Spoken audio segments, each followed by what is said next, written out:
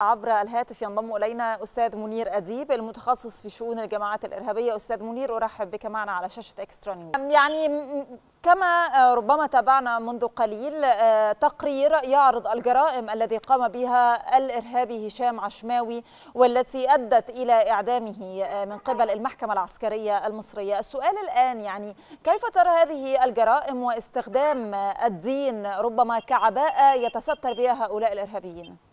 يعني أعتقد أن تنفيذ حكم الإعدام على هشام عشماوي خاصة وأنه ارتكب يعني عشرات الجرائم الإرهابية ضد مدنيين وضد ضباط شرطة وضد أيضا ضباط في الداخلية.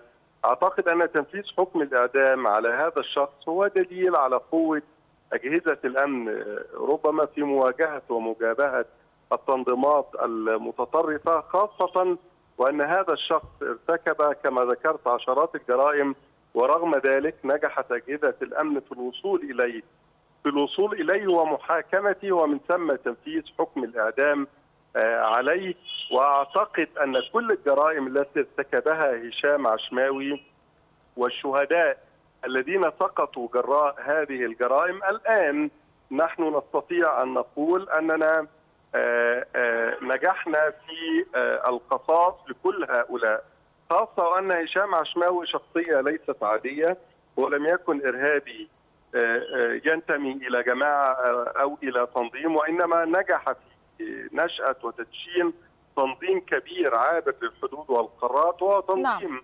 المرابطون ومن ثم ارتكب هذه الجرائم ضد مصريين وضد ليبيين أيضا وبالتالي يعني كان لابد من تنفيذ هذا الحكم بهذه الصورة حتى يرتدع الآخرون الذين ما زالوا في غيهم على نفس النمط والسياق الذي ربما دفع هشام عشماوي لارتكاب مثل هذه الجرائم. نعم أستاذ منير يعني كونك متخصص في شؤون الجماعات الإرهابية سؤالي الآن هو كيف تقوم هذه التنظيمات الإرهابية باستقطاب الشباب للعمل معهم تحت مسمى الدين؟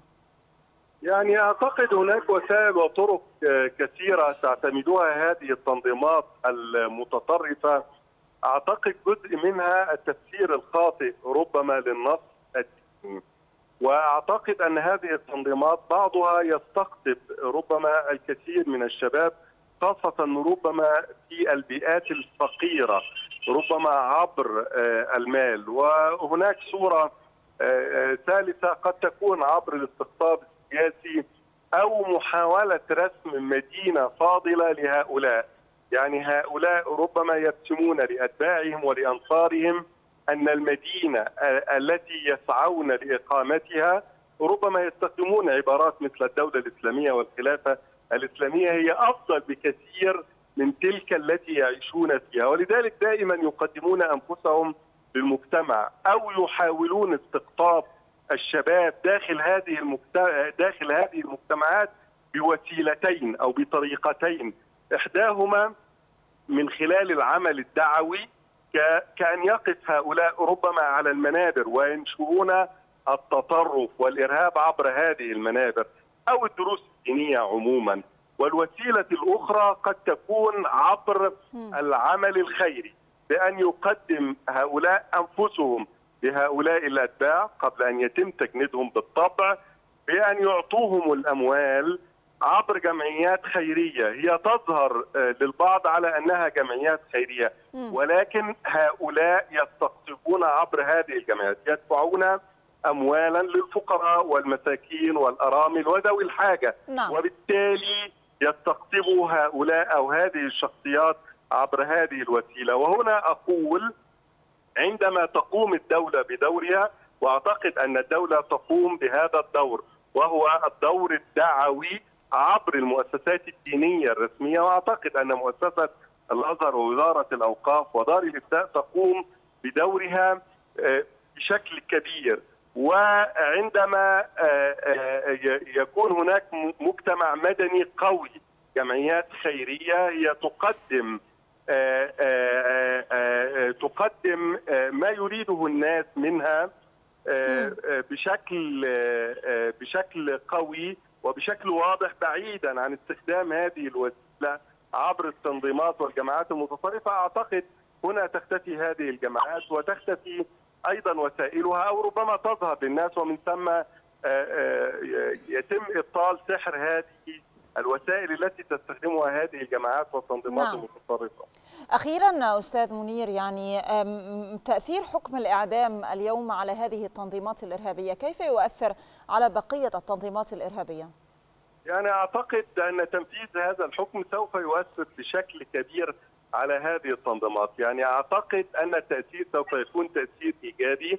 اولا الشعب المصري الآن سعيد بتنفيذ هذا الحكم لأن هذه الشخصية ارتكبت عشرات الجرائم الإرهابية وبالتالي لابد أن يشفي هذا الحكم وتنفيذ هذا الحكم صدور المصريين. وأعتقد أن هذا الأمر تحقق بتنفيذ هذا الحكم وبالإعلان عنه.